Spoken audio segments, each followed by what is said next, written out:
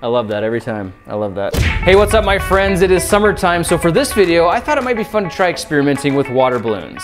Now for this project, I stopped by Walmart and picked up a pack of a Bunch O Balloons. These are about seven and a half dollars. They claim to be able to fill up 100 water balloons in 60 seconds. I don't think that's technically true unless you have like three different hoses and three different bundles going at the same time. However, it's still very quick and very convenient.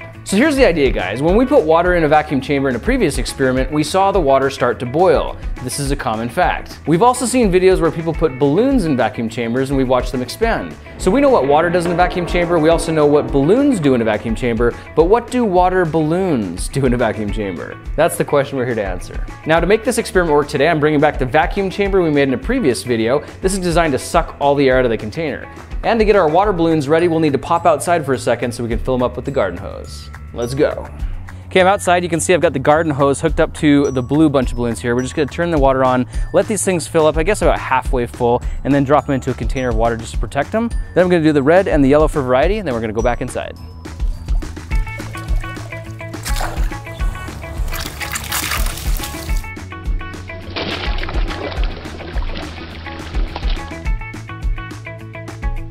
All right, back inside, guys, we got our bunch of balloons filled up. A lot of variety here. We got our yellow, blue, and our red. So I'm just gonna take a few of these, transfer them over into our cookie jar vacuum chamber, and then replace the lid, and we'll fire this thing up and see what happens.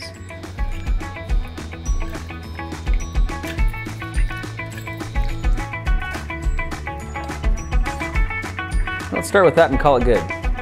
Quick update guys, we're back. I got all the balloons filled up and we've transferred enough of them in here to fill this jar halfway full. So at this point all we have to do is take our lid, replace it on the top, and basically turn on the vacuum chamber and see what happens. How are water balloons gonna react in the vacuum chamber? Let me know your guess in the comments below, and let's see if you're right. Here we go, let's see what happens.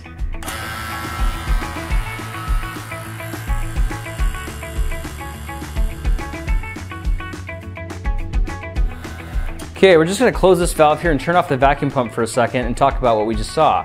Now, what's really interesting about this is we definitely see air bubbles collecting on the side of the water balloons, but they're not rapidly boiling like you would expect to see in a glass or a bottle of water. They're just kind of hanging out. And all the water down here that's boiling, I'm not sure if it's the water itself that's boiling or if it's just gas escaping from these balloons themselves. These little O-rings on the next to the bottle are great for holding in the water, but I'm not sure they're strong enough to actually prevent the air from coming out. So let's go ahead and try opening up this vacuum chamber very quickly to see if there's any kind of a dramatic difference. And then I've got one more modification I want to try making with them. Yeah, so we did see the balloons shrink down a little bit, so that definitely means that there was air that was being expanded. But I'm thinking, you know, did these shrink down more than normal size? These were some of the balloons that we started off with. These are the balloons that we ended up with. I don't really notice too much of a difference. It's kind of hard to tell. For round two, I think what I'm gonna do is actually physically tie off the next of these balloons so that no air can escape. We'll see if that makes any kind of difference. Because most of these balloons right now don't really have any air in them, so it'll be interesting to see what happens under vacuum.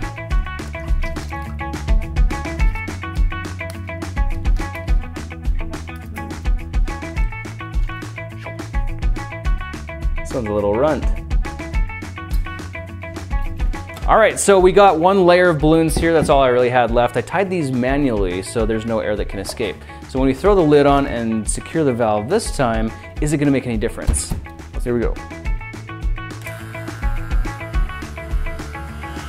All right, it's sucking. Looking at the water balloons themselves, you can see air bubbles forming on the inside. Now, a lot of these didn't have much air in them to begin with, but you can see any air that was there is starting to expand.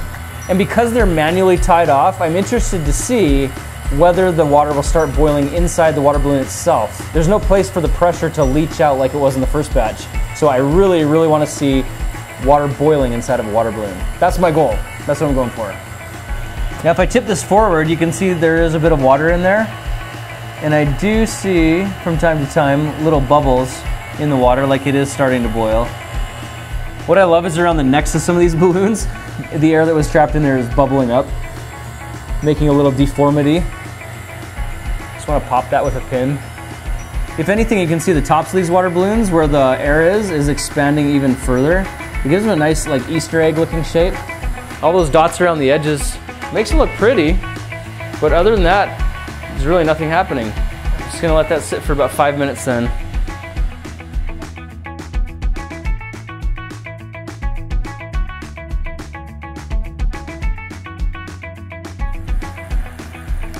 Guys, we have had this running for 10 minutes solid, no joke, and I really haven't seen much difference. If we shake them around, the bubbles just kind of dissipate, but that's really about it. All right, let's open this batch up and see if there's any difference.